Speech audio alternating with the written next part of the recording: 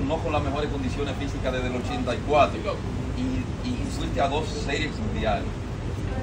Jugaste 27 años en nuestra pelota dominicana. Eres líder de muchísimos récords.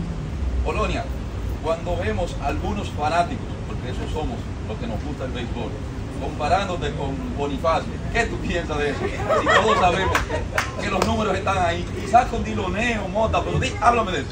Tú me estás viendo riéndome, ¿verdad? Eso es lo que le risa. Mira, Bonifacio, normalmente tenemos que quitarnos la gorra.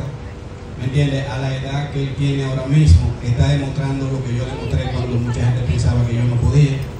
Y es verdad que yo lo disfruto. Yo lo disfruto. Yo sé que la fanaticada a veces se va por encima de la realidad. Pero el juego de Bonifacio yo lo disfruto porque ese es el juego que yo vivía, el juego que yo hacía día a día y verlo cuando ya lo estaban retirando y ver que él no le está parando a nada y, y año tras año sin jugar pelota de verano, él se mantiene haciendo sus prácticas, se mantiene ejercitándose y preparándose para la siguiente temporada como lo hice yo como con 10 años, sin jugar verano en ningún lado. Es verdad que eso, eso es de uno halagarlo, ¿tú entiendes? Es verdad que hay que darle su... Yo, yo a ellos, como yo digo, yo me le quito la gorra y eso y todo, pero en verdad la comparación no, no tiene límite, o sea, la distancia es muy lejos. ¿Me entiendes? Ahora que Bonifacio va por la mitad de lo que yo hice.